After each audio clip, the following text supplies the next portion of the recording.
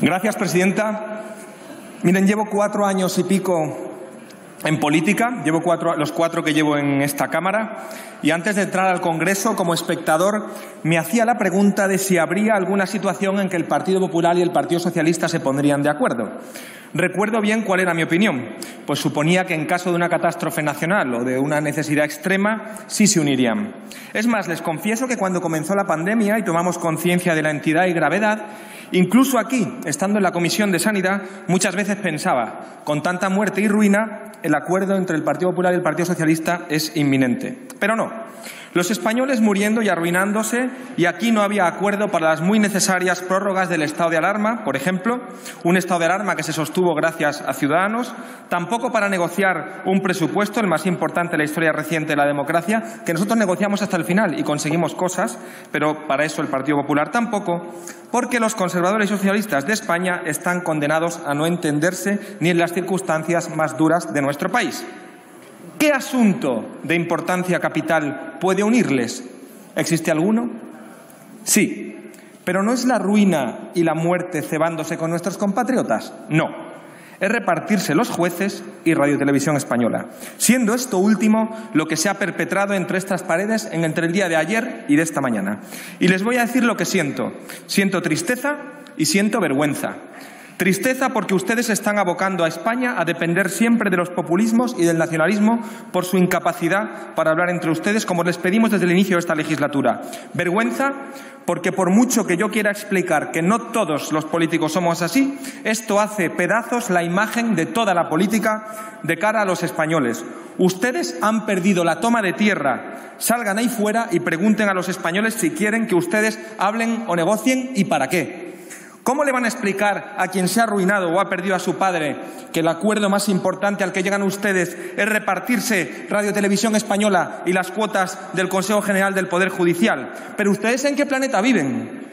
¿No se les ocurre mejor servicio a España que repartirse los jueces y la radio y televisión pública? Miren, nosotros, ciudadanos, conseguimos que hubiera un concurso público y se puso en marcha. Lo apoyaron por motivos cosméticos, confiando en adulterarlo desde el principio. El concurso se puso en marcha. Nombramos un comité de expertos con personas muy prestigiosas que iban a seleccionar de entre los candidatos a los 20 que considerasen mejores. Esas fueron las reglas que nos dimos todos y que pusimos en marcha. Los expertos eligieron a esos 20 candidatos. El PP PSOE y Podemos vieron que no entraron, que no consiguieron adulterar y, forzar ese comité de expertos a seleccionar a quienes ellos, a quienes ellos querían.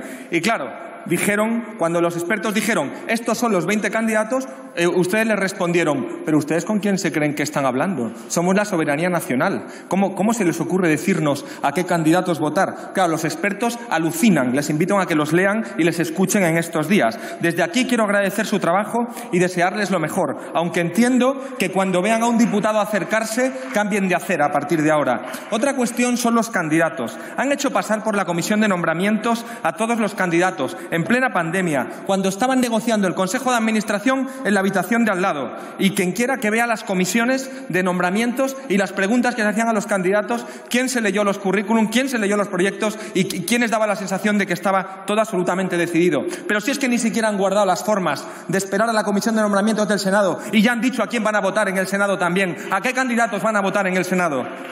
Lamento decir, y lamento mucho decir, que no vamos a votar. Y se lo digo porque hay gente muy válida entre los candidatos, pero han adulterado ustedes todo el proceso. Y ahora una evidencia. El más valorado de todos por el comité, tras el triste fallecimiento de la señora Gómez Montano, es el señor Javier Montemayor, con bastante diferencia con respecto a los demás. ¿Lo van a votar? ¿Lo van a votar? Hoy veremos cuántos votos cosecha el señor Montemayor.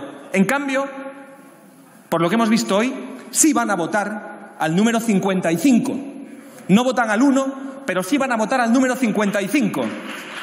Un señor y señores del Partido Socialista, miren lo que van a votar hoy, que escribe de Rubalcaba ya muerto, el monaguillo conspirador en el blog de Podemos. ¿No les da vergüenza votar esto? ¿No les da vergüenza meter a un tipo así en el Consejo de Radio Televisión Española a ustedes? Un poco de dignidad con los suyos.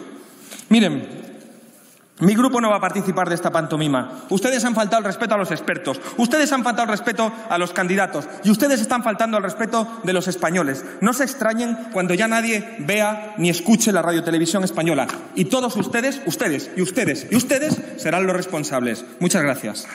Muchas gracias, señor Díaz.